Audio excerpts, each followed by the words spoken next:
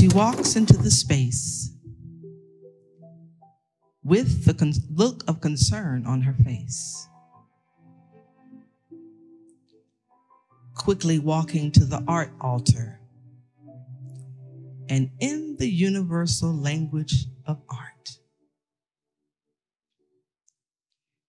she connects her heart with the heart of God.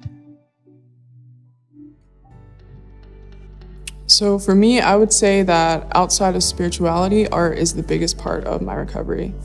But even in that, they intertwine. So um, I would say that for me, art pretty much allows me the freedom to process and work through the emotions that I'm having trouble um, dealing with in that moment. Because, you know, art can, it, it can just express or encapsulate every emotion on the spectrum. So, you know, music is something that allows me to use sound um, where I can't use words, or sometimes I need to force myself to use words.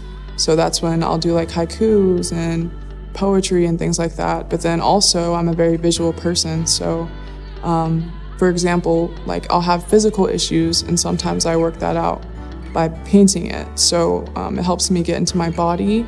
Um, art keeps me grounded in my recovery.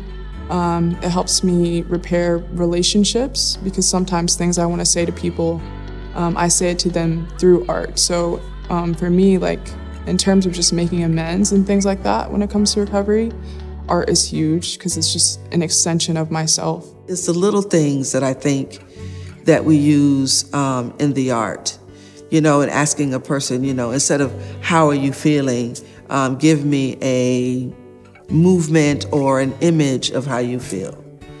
Um, and then we do what we call a feeling circle. And in that feeling circle, not only do I see how you feel, but I also give you back how you feel. And then around the circle, we're all giving feedback about how we feel and get a chance to experience how you feel.